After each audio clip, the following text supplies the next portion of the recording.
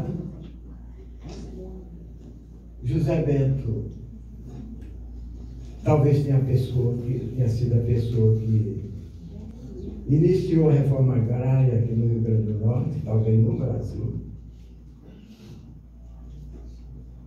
Apesar de ser de um pequeno, de um pequeno, de pequena forma, mas José Bento tinha, tinha algumas propriedades, tinha três propriedades aqui no município.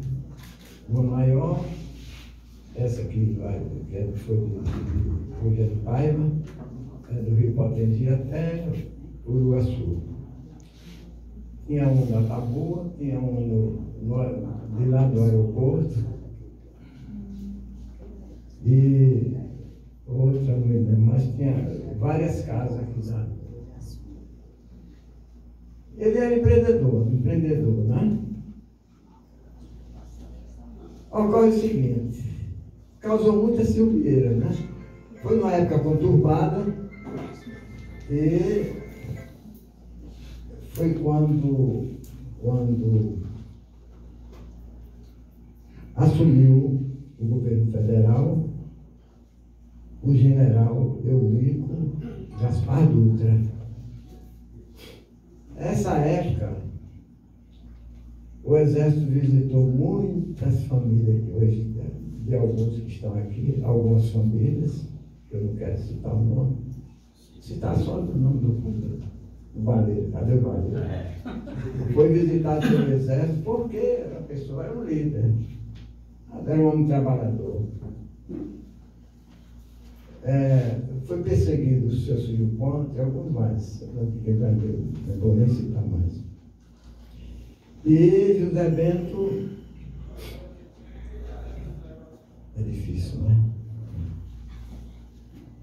É, Padre Murilo, eu pedi a ele que ele citasse, fizesse alguma citação. Ele já fez alguma citação que eu podia fazer. Mas foi por aí, né? Eu, de início, eu digo, eu não vou dizer nada porque eu, criança com cinco anos, com cinco anos, vi meu, vi meu pai chegar na propriedade, envenenado, deitado no chão, espumando muito. Eu, criança, não sabia o que estava acontecendo. Mas esta coisa me ficou dentro do peito, muito forte. Atualmente a gente procura um psicólogo, faz um tratamento psicológico, né? Mas eu arrastei isso por muitos e muitos anos. É olha que eu estou com 18 anos hoje, né? Com 18 no inverso.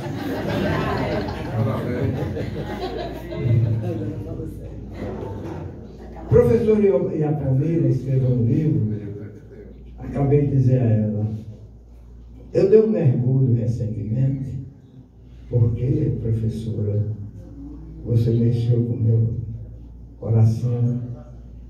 Olhe que não é um coração qualquer, é um coração que já tem nove estentes.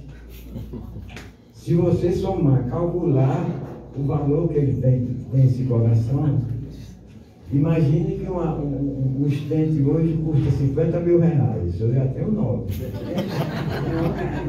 Coração valioso, é ou não é? Seria bom que a gente dissesse alguma coisa que a gente risse mesmo. Para relaxar.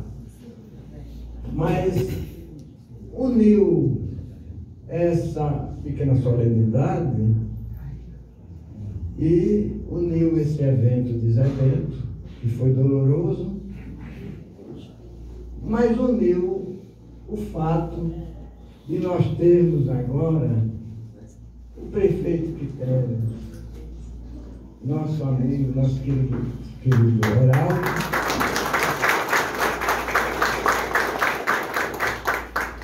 que sabe tudo de São Gonçalo. Padre Murilo sabe tudo de São Gonçalo. E de Macaé e de Macaé. Eu queria pedir uma coisa a vocês, no fundo do coração. Que todos vocês não soltassem a mão do, um do outro vamos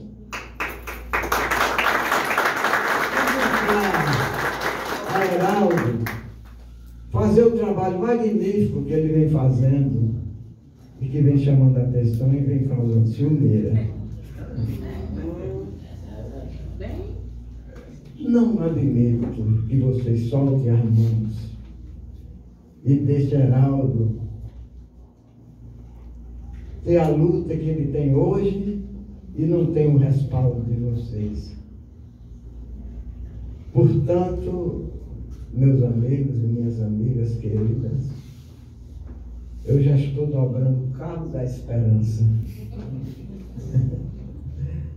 Mas eu queria que a maior esperança era ver São Gonçalo liberto das oligarquias de lá de fora e nossos filhos, nossos netos usufruírem da riqueza que é o município de São Gonçalo.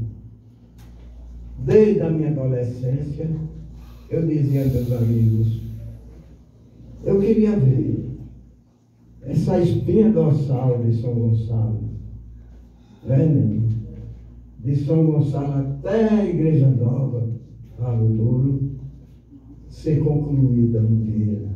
Estou vendo. É exato que teve alguém que fez, mas não foi com dinheiro de alguém.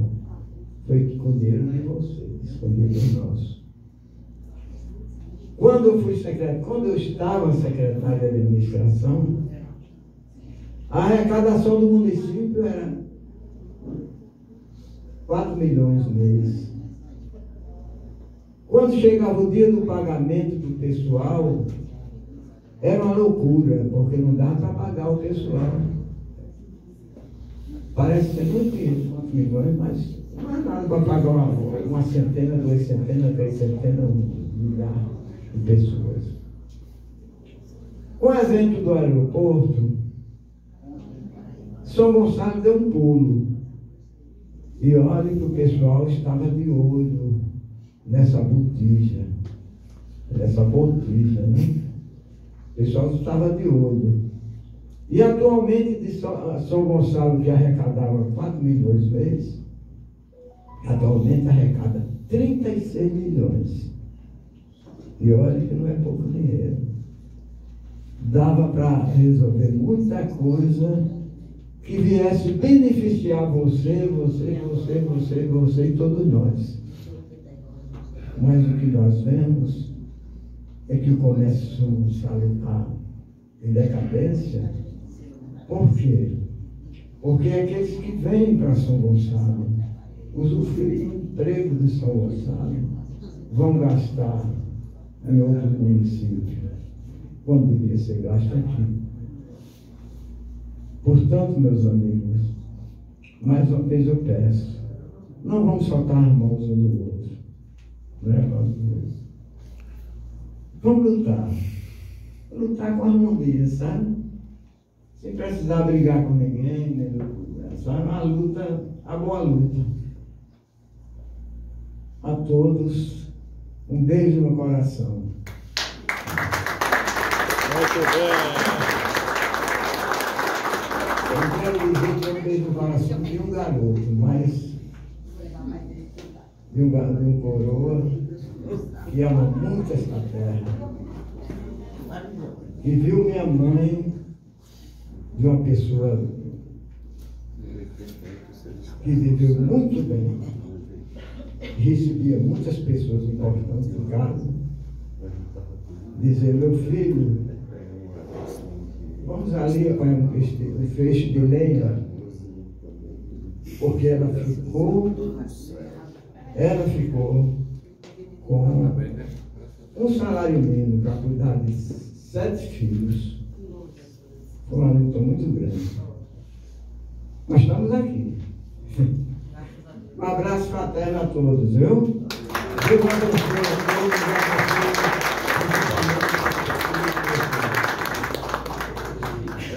E essas foram as palavras de Edivaldo Fernandes de Oliveira, neto do saudoso ex-prefeito José Pinto de Oliveira.